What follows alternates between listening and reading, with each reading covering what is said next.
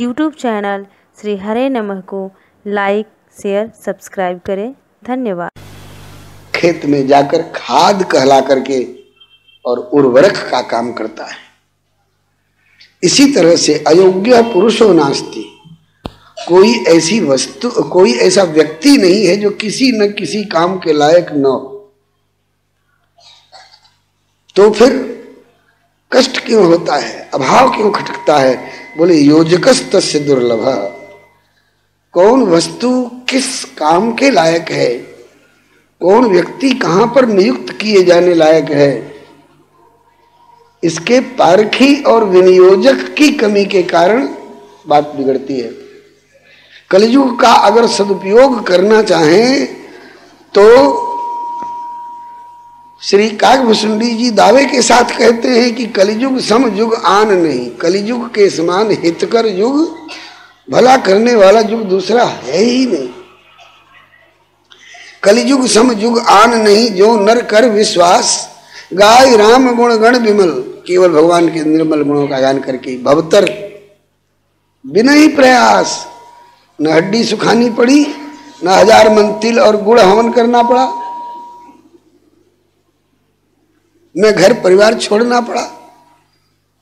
नरसी को सात दिन में, नामदेव को तीन दिन में, मीरा को और धन्ना को एक एक दिन में भगवान का साक्षात्कार हो गया। ये कलियुग की विशेषता है। श्रीमद् भागवत के ग्यारहवें स्कंध में एक श्लोक आता है, चारों युगों का स्वभाव और विशेषता वर्णन करते करते एक श्लोक में तो कहते हैं कि कृतादिशु प्रजा राजन कलौ इच्छन्ति संभवम। सतयुग त्रेता द्वापर की प्रजा, तरसती है कि काश कलयुग में मेरा जन्म होता। कलौ इच्छन्ति संभवम, कलयुग में मेरा जन्म होता। ऐसा तरसते हैं और युग के लोग क्यों? बोले कलऊ खलु भविष्यंति नारायण परायणा। नारायण परायण, भगवत परायण भगवान की भक्ति करने वाले लोगों की संख्या कलयुग में ज़्यादा होगी। गिनाऊ दस बीस के नाम ये कलयुग में हुए हैं। मानो कलियुगी इतिहासांतर्गत वह दिन आया था, जब हरिजन की कौन कहे, विमुखों ने हरि गुण गाया था। श्री रामानंद कबीर सूर तुलसी का आविर्भाव हुआ। श्री हित हरिवंश चंद्र कृत हरि भक्ति का प्रकट प्रभाव हुआ। श्री रामानुज शंकराचार्य ने भक्ति हेतु तन धारा था। श्री कृष्ण चंद्र ने गौर चंद्र बन भक्ति सुजस विस्तारा। श्री समर्थ गुरु रामदास, रैदास, दीवानी मीरा जी नरसी नानक नामदेव ने भक्ति कीर्ति कर दी यवनी शासन काल में जहाँ एक तरफ़ यवन शासकों का दमन चक्र चल रहा था और उन्हीं दिनों में इन संतों की, भक्तों की ऐसी बाढ़ आई, हिरण्यकशिपु ने अपने शासन काल में कहा कि मैं नारायण का नाम निशान नहीं रहने दूँगा। ठाकुर जी ने कहा कि तू मेरी नाम निशान की जड़ खोदने पर तुला हुआ है और मैं तेरे घर ही में अपने नाम की जड़ जमा रहा हूँ, प्रहलाद को पैदा कर रहा हूँ। समय परे नर क्या करे, समय समय की बात, किसी समय के दिन बड़े और किसी समय की रात। कभी दिन बड़ा होने लग जाता है, रात छोटी होती है। कभी रात बड़ी हो जाती है, दिन छोटा होने लग जाता है।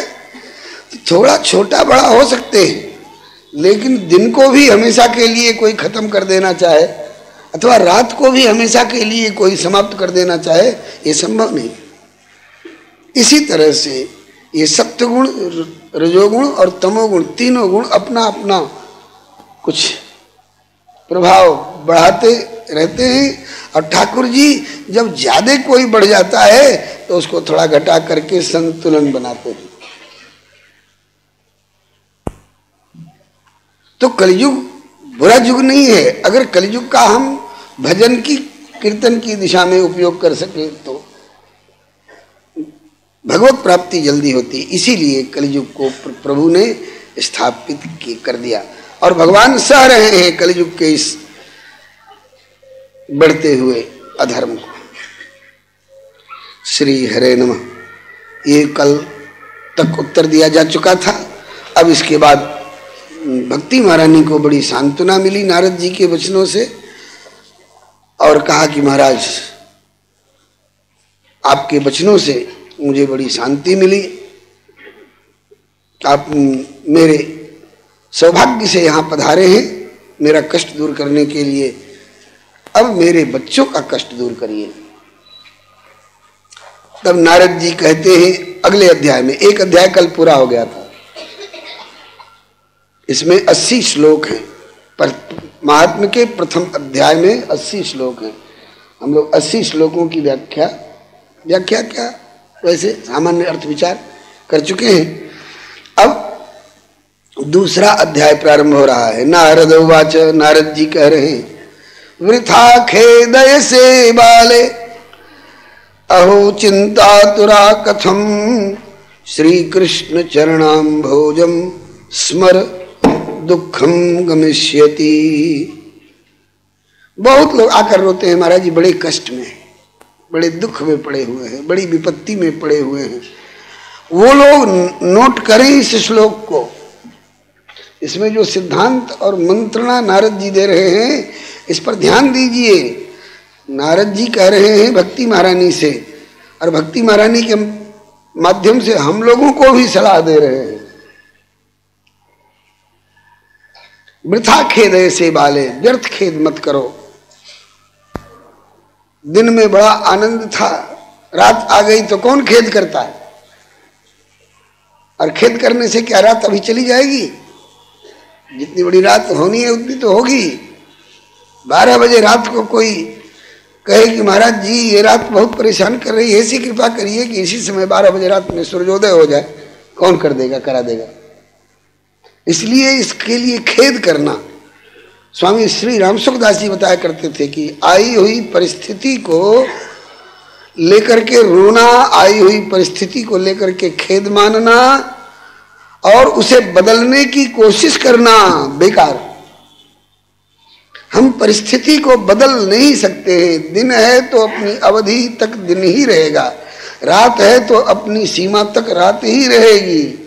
बदल नहीं सकते। हम परिस्थिति को बदल नहीं सकते हैं। प्राप्त परिस्थिति का सदुपयोग करके लाभ उठा सकते हैं। प्राप्त परिस्थिति का कभी कभी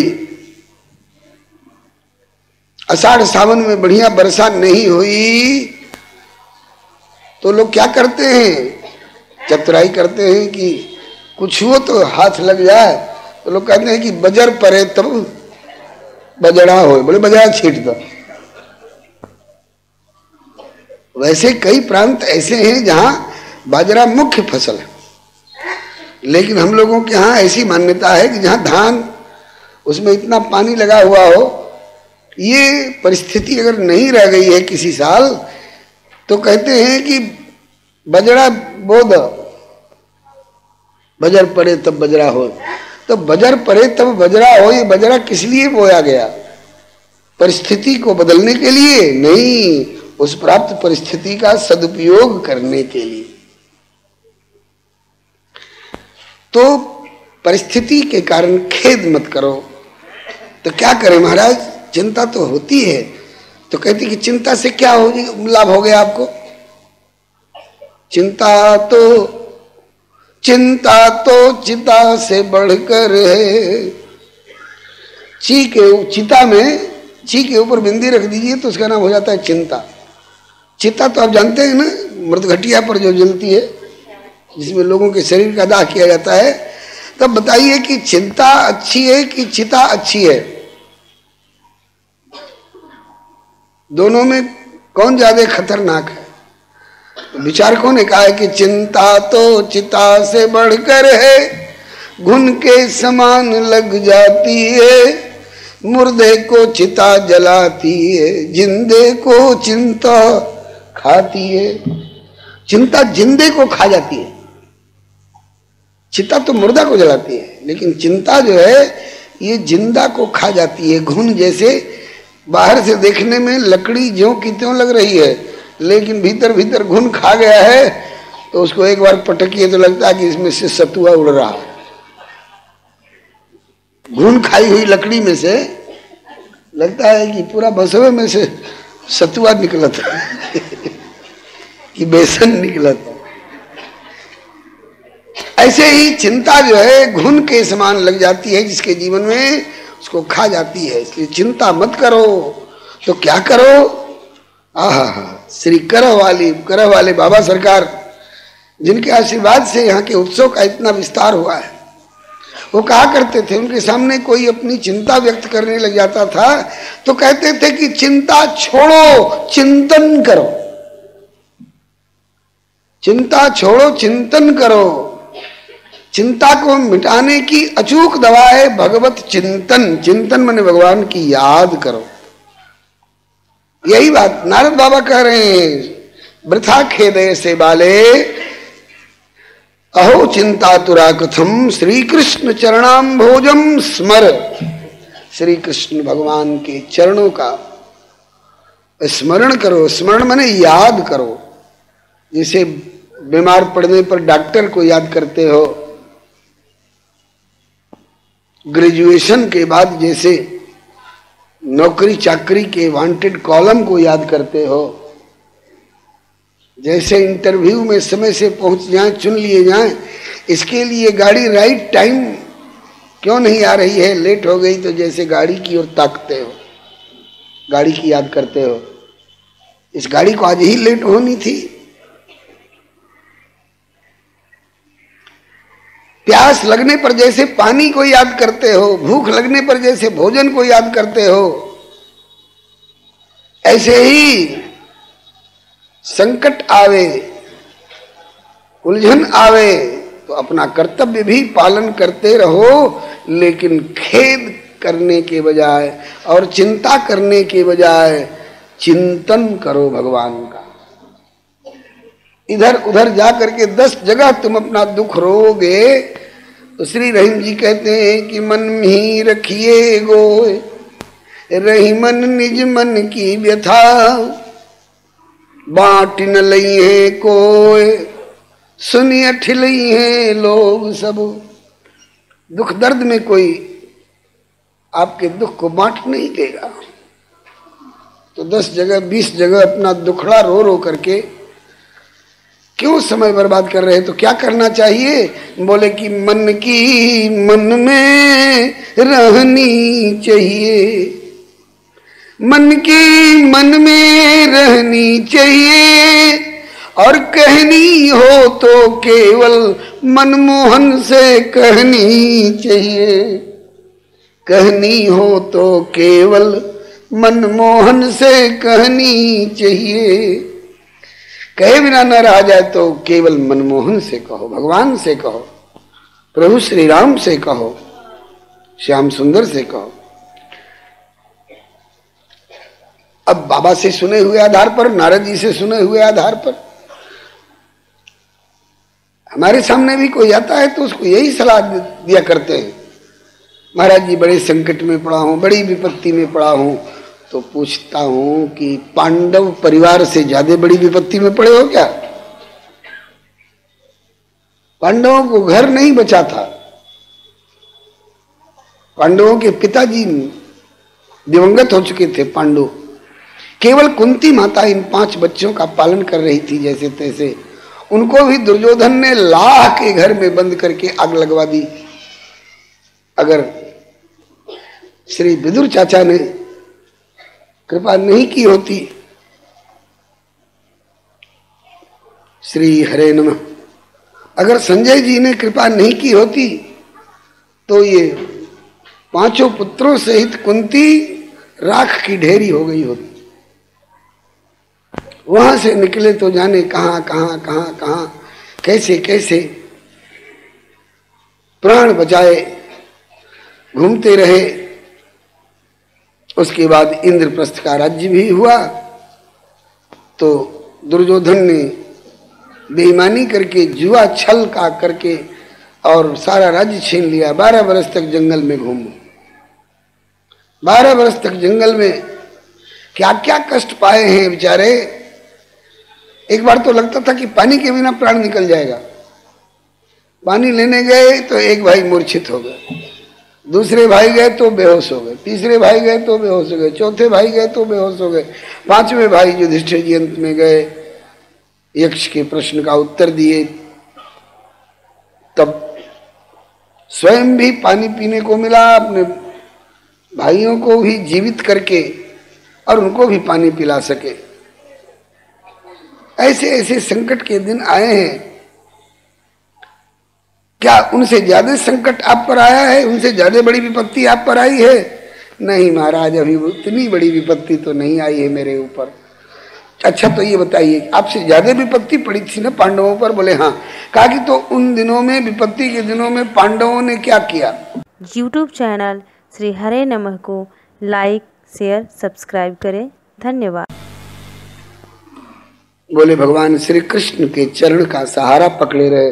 बोले तो फिर तुम क्यों हाय हाय करते हो? तुम भी उन्हीं के चरणों का सहारा पकड़ लो। कहीं गए हैं थोड़े? कलयुग में भी रसखान जी को दर्शन देते हैं, रहीम जी को दर्शन देते हैं ताज बीबी को दर्शन देते हैं। नरसी जी की हुंडी चुकाते हैं, नरसी जी के बेटे का ब्याह कराते हैं। भगवान कहीं गए नहीं है? नारद जी यही सलाह दे रहे हैं, खेद मत करो देवी, खेद करने के बजाय श्री कृष्ण चरणाम भोज स्मर दुखम गमिष्यति, दुख चला जाएगा। अगर दुख रहेगा भी तो दुख तुमको रुला नहीं सकेगा।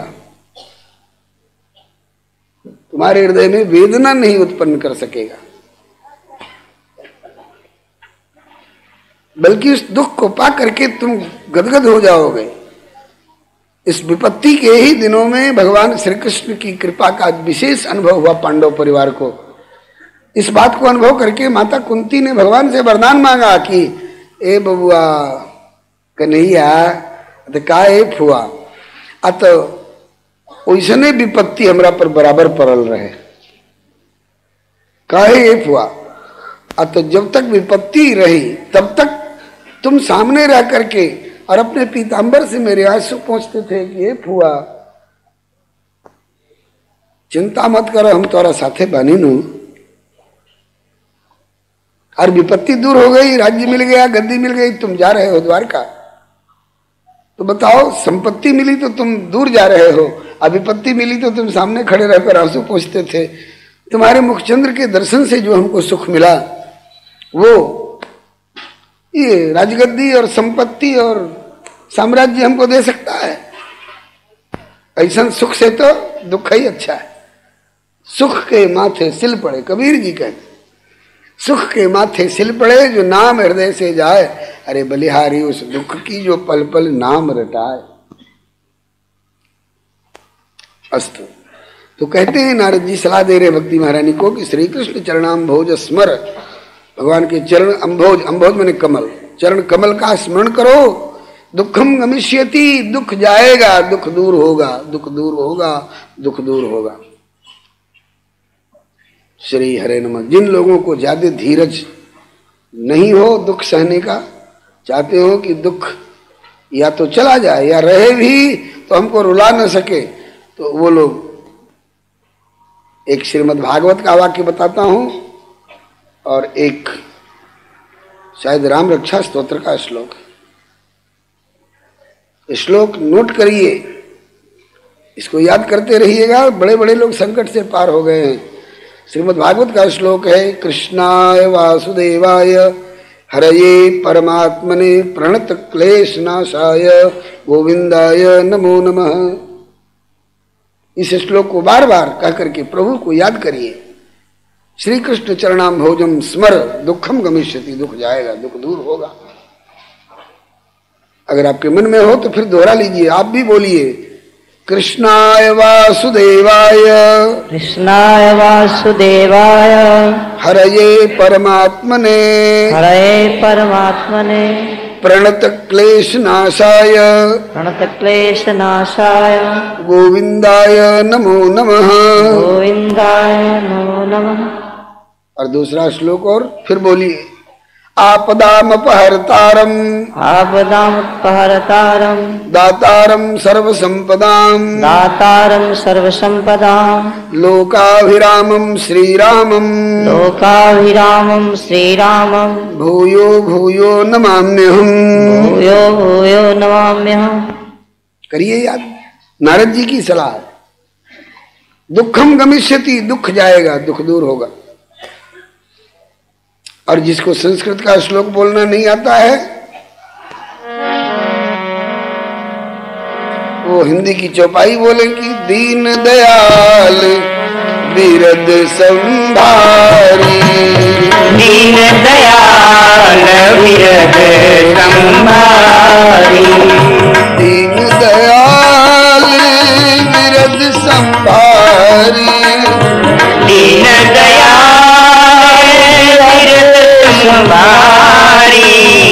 हरहुनाथ मम संकट भारी हरहुनाथ मम संकट भारी हरहुनाथ मम संकट भारी हरहुनाथ मम संकट भारी दीन दयाल हे दीन पर दयाल दया करने वाले दीन दयाल विरद संभारी, अपने विरद को संभालो। विरद मने आपकी कीर्ति, आपका सुजश, आपकी ख्याति।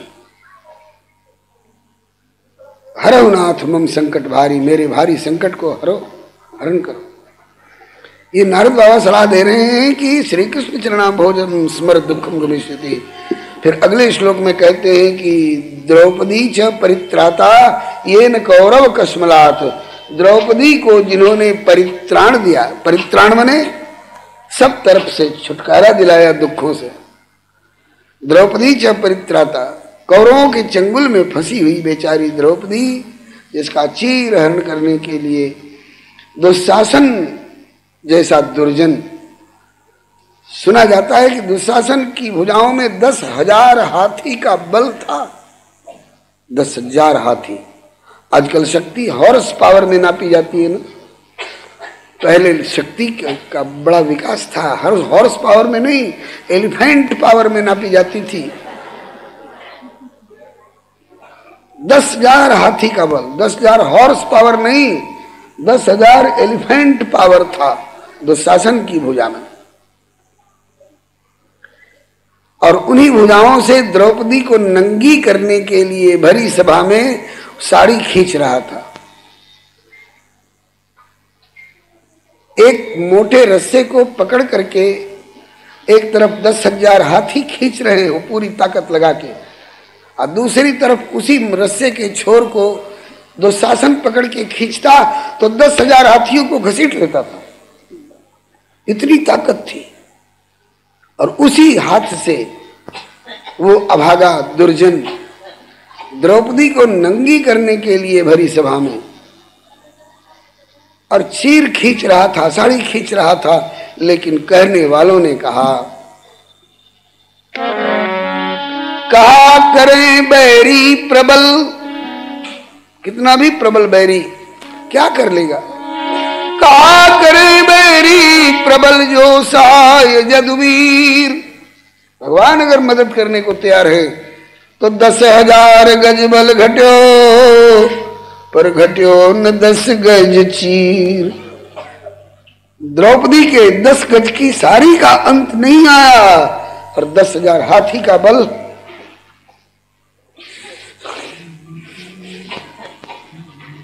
यूँ यूँ करने लगा दुशासन। पसीने पसीने हो गया, लगा कि ब्लड प्रेशर लो हो गया, लगा कि गिर पड़ेगा, मर जाएगा।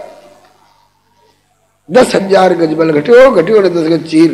द्रौपदी ने पुकारा, कन्हैया, भैया, तेरे बिना कोई मेरी रक्षा करने वाला नहीं दिखाई पड़ता।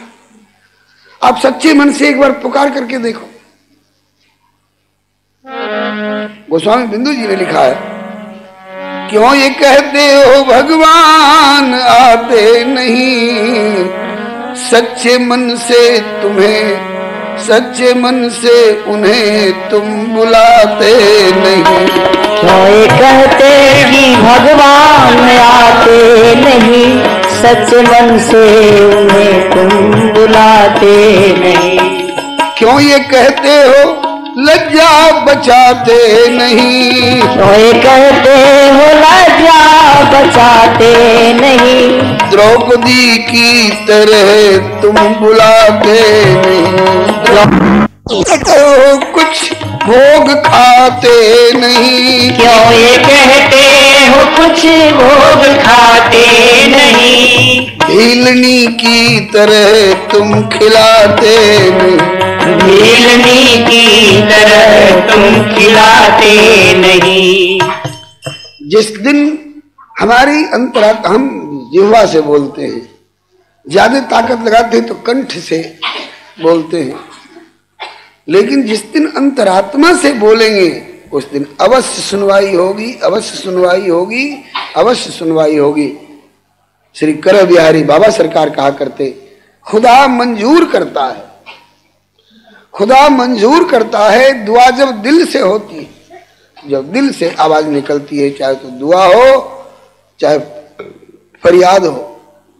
खुदा मंजूर करता है, दुआ जब दिल से होती है, मगर मुश्किल तो ये है कि बात ये मुश्किल से होती हृदय से आवाज़ निकलना कठिन है, लेकिन मुश्किल मुश्किल है हृदय से आवाज़ निकलना। लेकिन मुश्किल भी आसान हो जाता है। जब प्राणी ऐसी मुश्किल में पड़ जाए कि कहीं से कोई सहारा नहीं मदद नहीं तो सुनेरी मैंने निर्बल के बलराम सुनेरी मैंने निर्बल के बलराम ताली मत बजाइए ताली नहीं केवल वाणी से।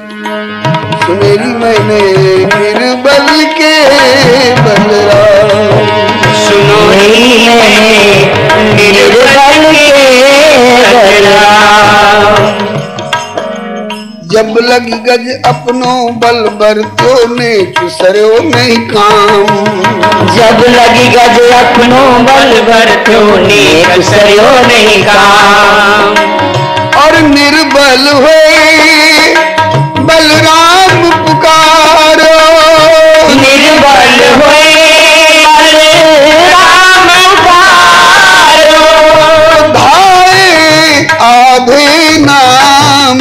सुनेरी मैंने निर्मल के।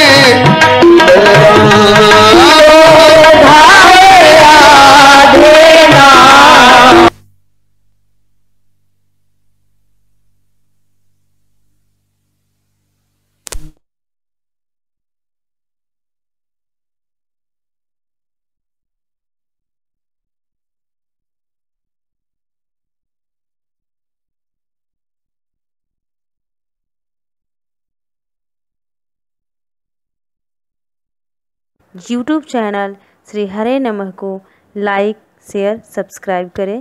धन्यवाद।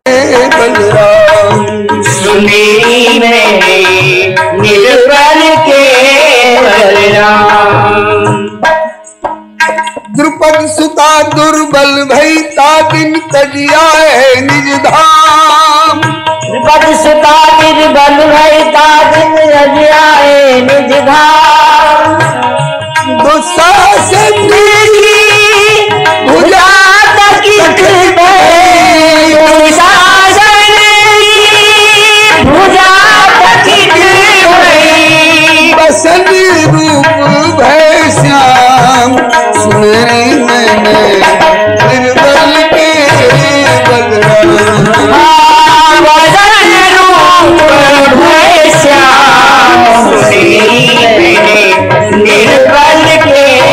बलराम सुनरी मैंने निर्बल के बलराम मेरी मैंने निर्बल के बलराम अब बल तब और बाहुबल, चौथो बल है दाम। अपबल तप बल और बाहुबल, चौथो बल है दाम।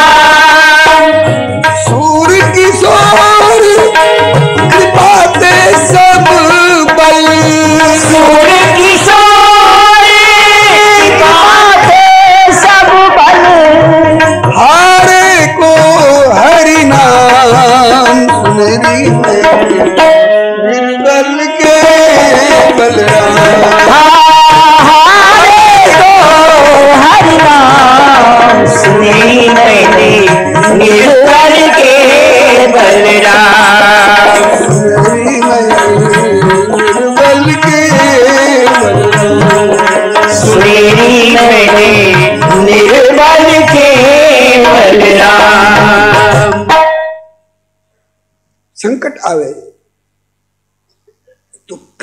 इधर उधर भागो, दौड़ो मत, केवल प्रभु को याद करो, प्रभु को पुकारो। ये नारद बाबा की सलाह है, भक्ति महारानी के माध्यम से हम लोगों को भी सलाह दे रहे हैं। श्री कृष्ण चरणाम्भोज स्मर दुखम गमिष्यति।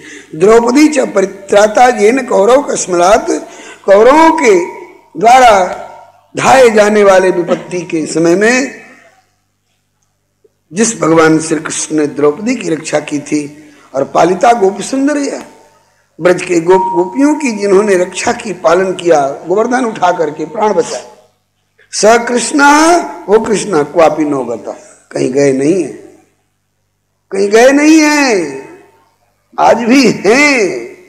पुकार सुनते हैं। और हे हे भक्ति महारानी, तुम तो उनकी प्राण वल्लभा हो। तुम तो भक्ति प्रिया तस्य सततम प्राण तो अधिकार प्राण से भी अधिक प्रिय लगने वाली हो आप।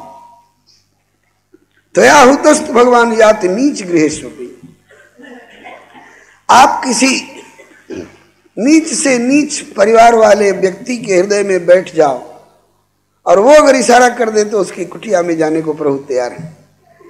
भी भील जाति, सबर जाति, कोल, भील, मुंडा, उराव, संथाल। ये कोई बढ़िया जाति नहीं है। इन लोगों का धंधा है केवल मूस मारो बिलगोह मारो, सियार मारो, खरगोश मारो मारो और खाओ, मारो और खाओ, मारो और खाओ। कि केवल यही जानते हैं और उस जाति में पली हुई शबरी और उसके हृदय में सत्संग के माध्यम से भक्ति महारानी आकर के विराजमान हो गई और शबरी मैया की भक्ति किससे छिपी है, कौन नहीं जानता है? ऋषियों की कुटिया पर नहीं गए, शबरी की कुटिया पर प्रभु आए। क्यों? शबरी का हृदय का प्रेम पुकार रहा था।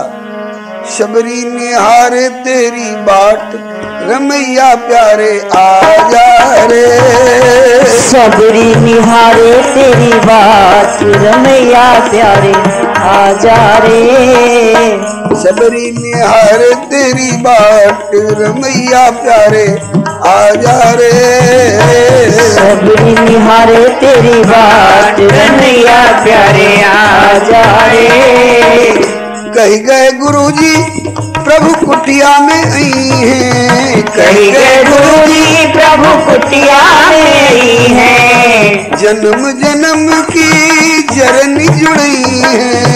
जन्म जन्म की जरनी जुड़ी है। तभी से लगी रही चाट दरस दिखला जा रे।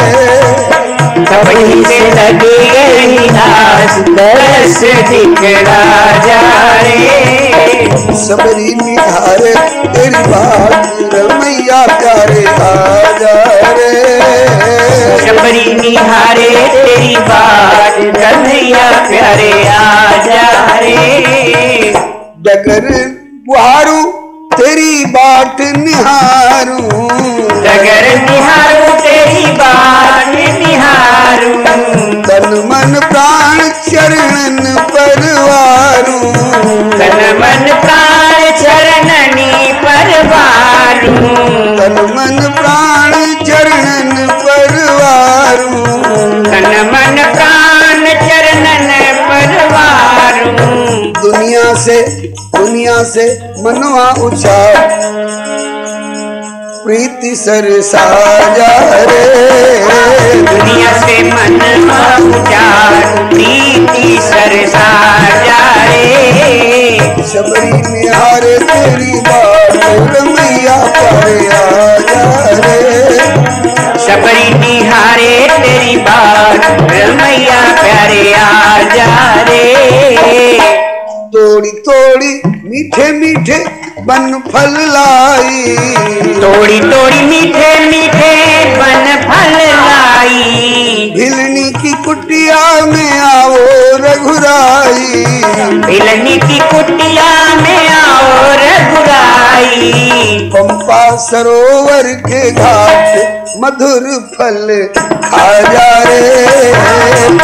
सरोवर के पास मधुर फल भाजा रे पंपा सरोवर के घाट मधुर फल भाजा रे सरोवर के घाट मधुर फल रे सबरी निहार तेरी बाट रमैया प्यारे जा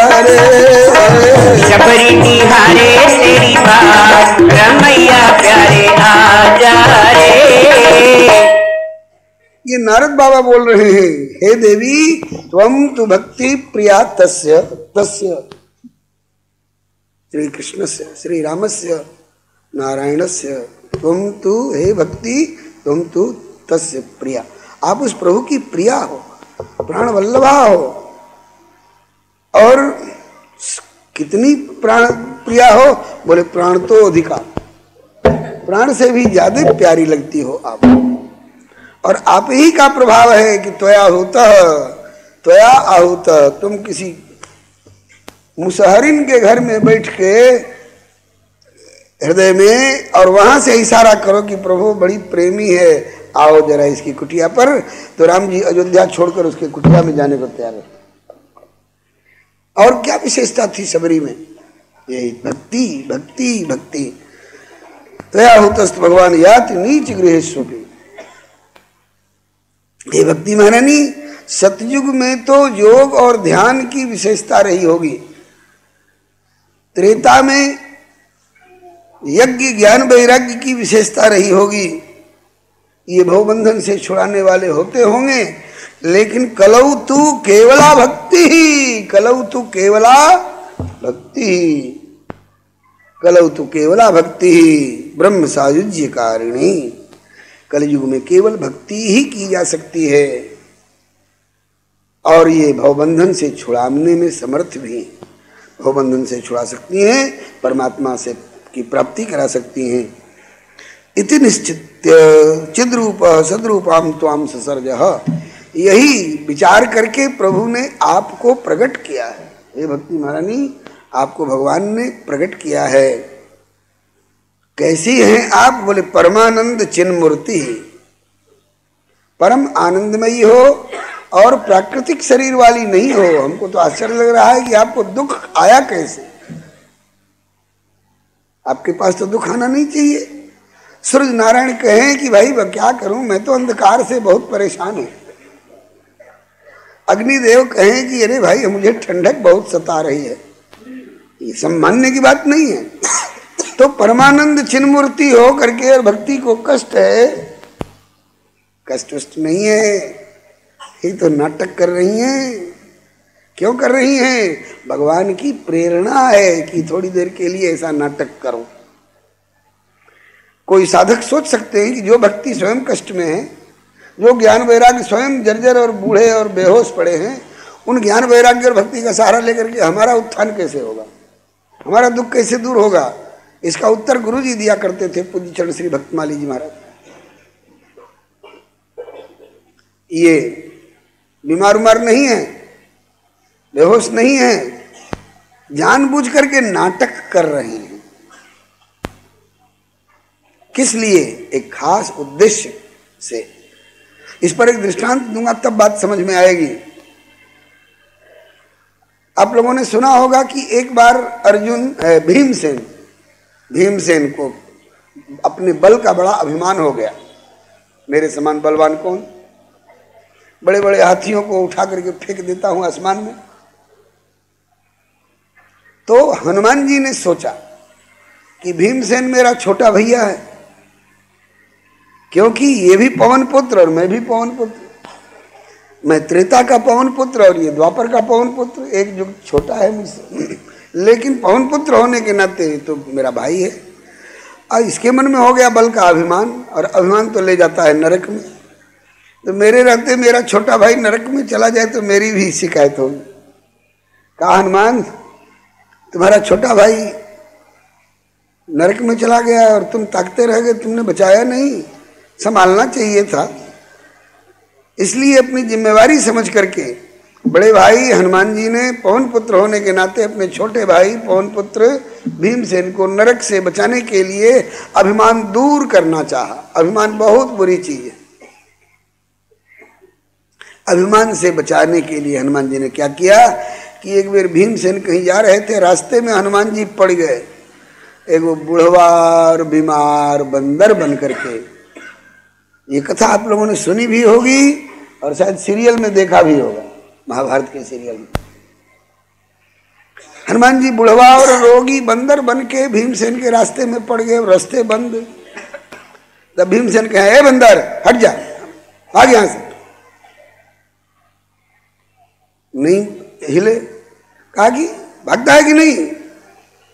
तो हनुमान जी बोले, भैया बूढ़ा हूँ, बीमार पड़ गया हूँ, मुझसे हिला नहीं जाता है। तुम पहलवान हो, मुझे एक और करके, लांग करके चले जाओ। पहले तो प्रस्ताव किया कि लांग के चले जाओ। तो भीमसेन बोले कि नहीं?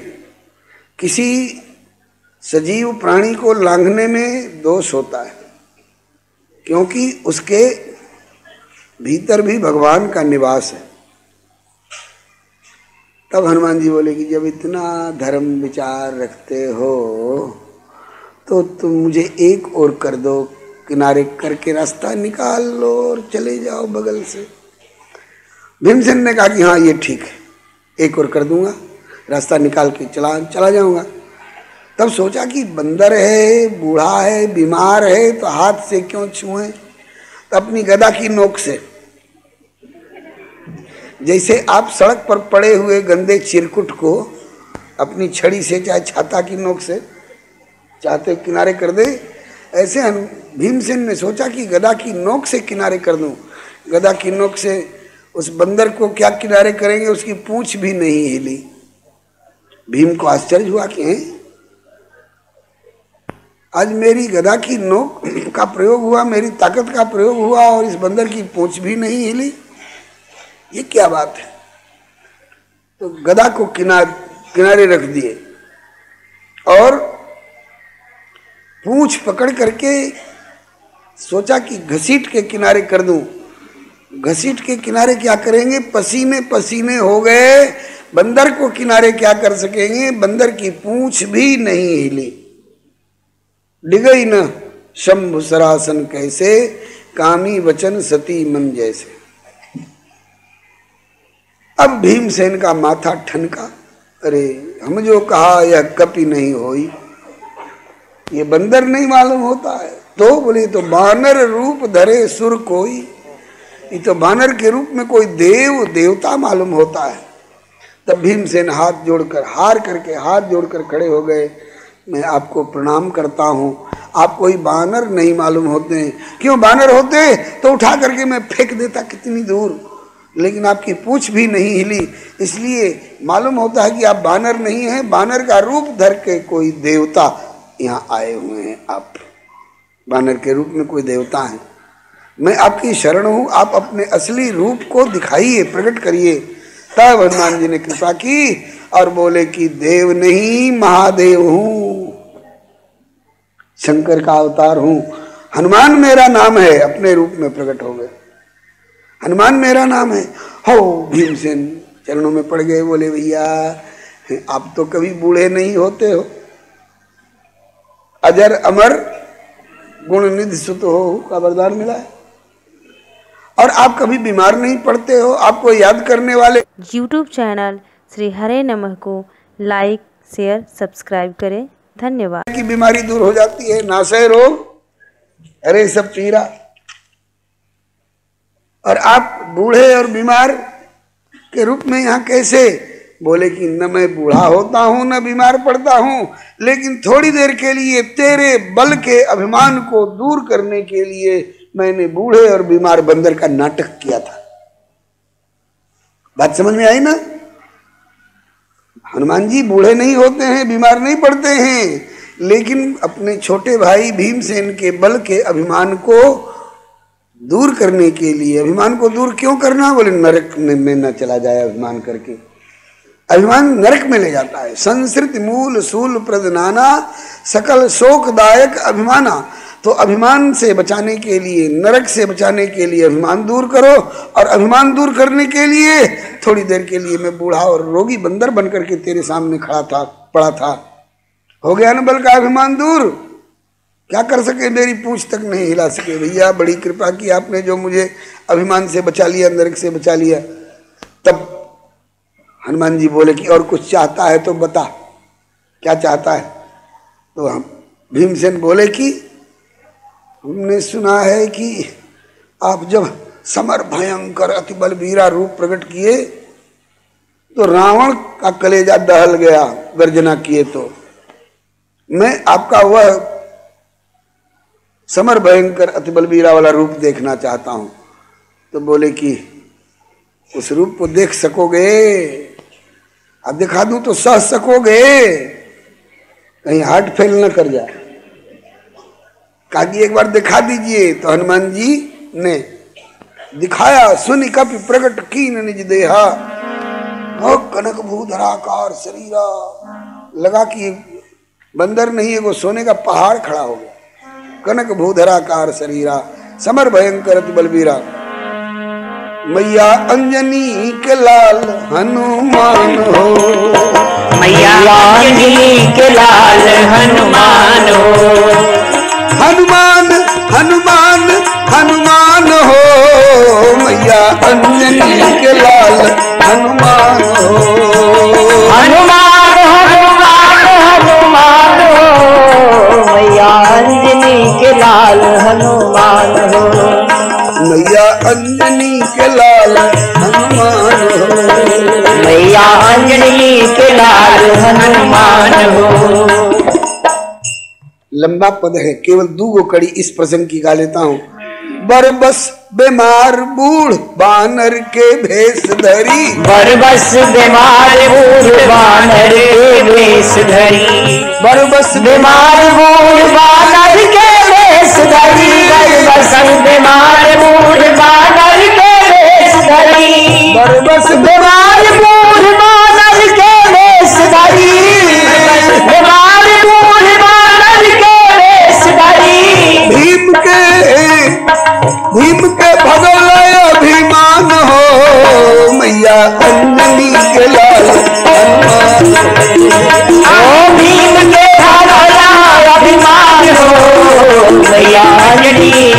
लाल हनुमान हो अंजनी के लाल हनुमान मैया अंजनी के लाल हनुमान हो। भीमता निहार भीम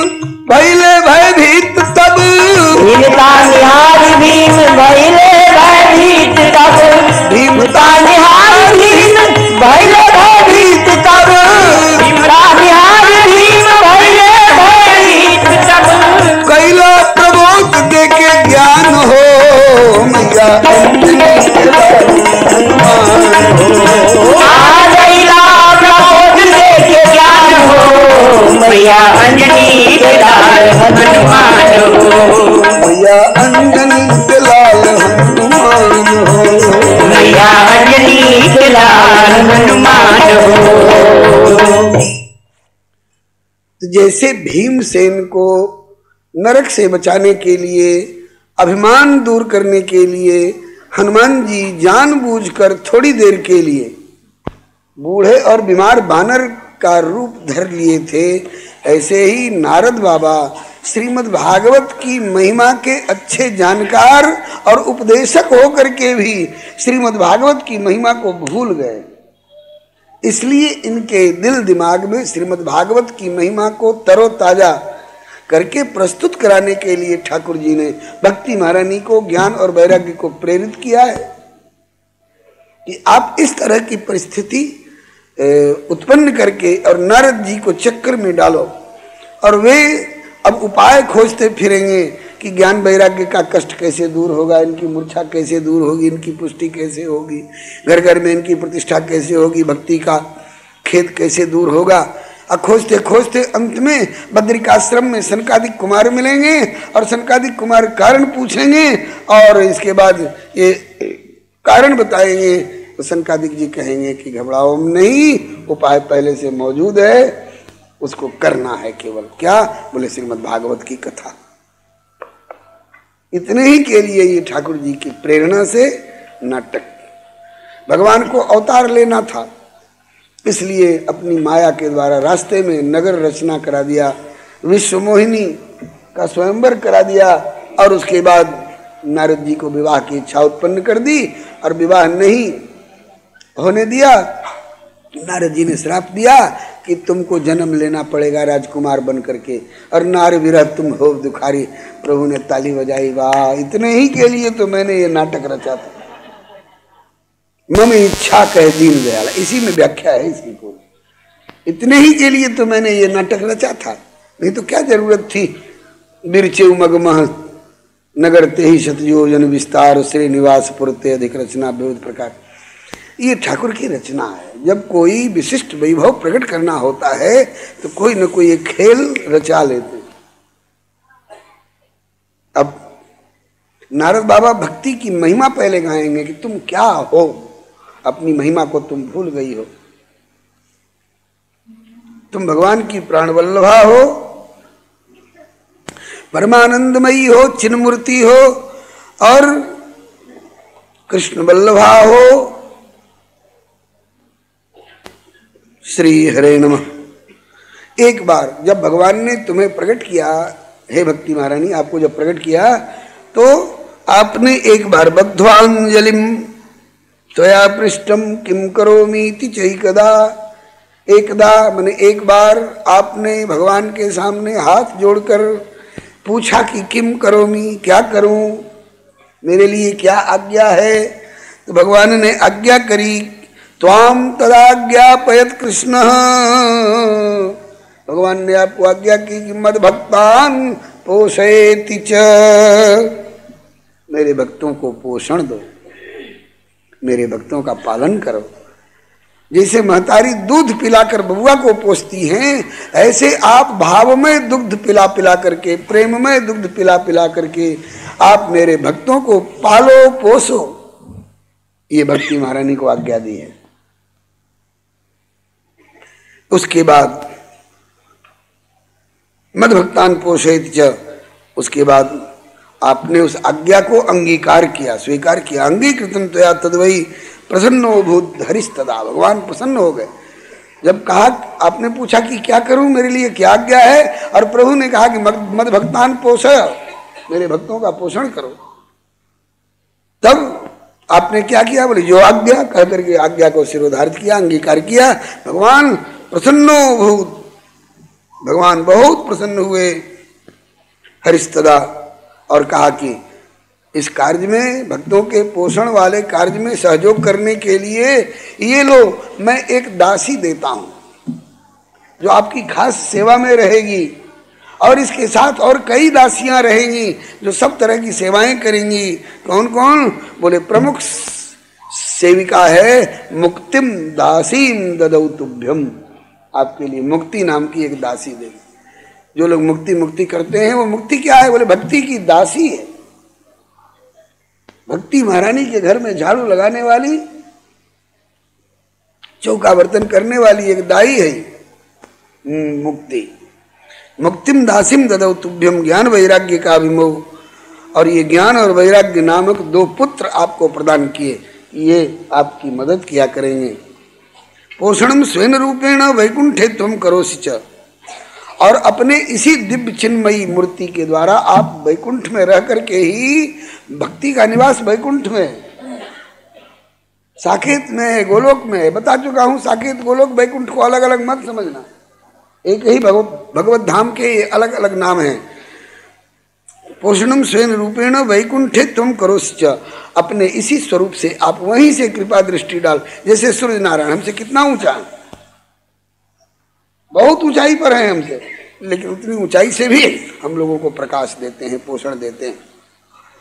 ऐसे ही भगवान के धाम में ही रह करके आप भक्तों को पोषण देती रहती हो।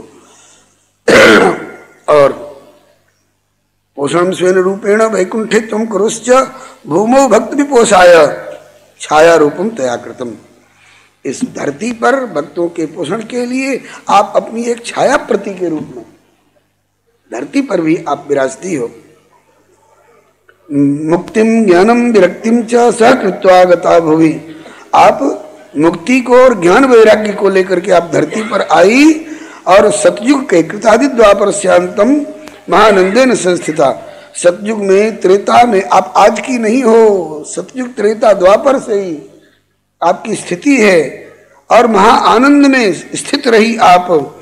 कलव मुक्तिम कलव मुक्ति क्षय प्राप्ता, पाखंडा में पीड़िता। कलयुग आया तो इसमें मुक्ति जो है वो तो बहुत रुकी आ गई, क्षय को प्राप्त हुई। और क्यों? बोले, पाखंड के संश्रय से। तदाज्ञया गता शीघ्र वैकुंठम पुनरेवचा, पुनरेवसा। फिर उस मुक्ति ने कहा कि, हे स्वामिनी, हे मालकिनी जी, मैं तो बड़ी कमज़ोर हो गई, पता नहीं क्यों, बोले, कलयुग के आगमन से। मैं क्या करूँ? तो कहा कि अब तू बैकुंठ में चल, वहीं पर तेरा इलाज होगा। तो यूट्यूब चैनल श्री हरे नमह को लाइक शेयर सब्सक्राइब करें। धन्यवाद।